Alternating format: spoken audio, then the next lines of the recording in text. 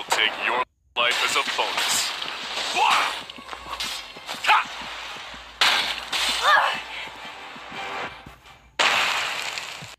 Then Send you to hell. Huh?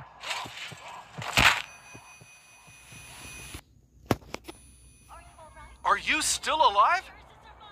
Hey!